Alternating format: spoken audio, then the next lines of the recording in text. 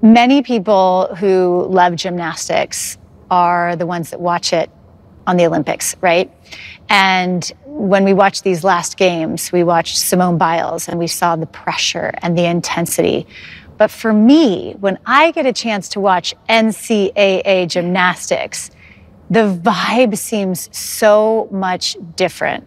How would you describe the difference between those two vibes? Yes, so I've been in the elite world, I've been in the NCAA world, I've been in both at the same time. So they're very different.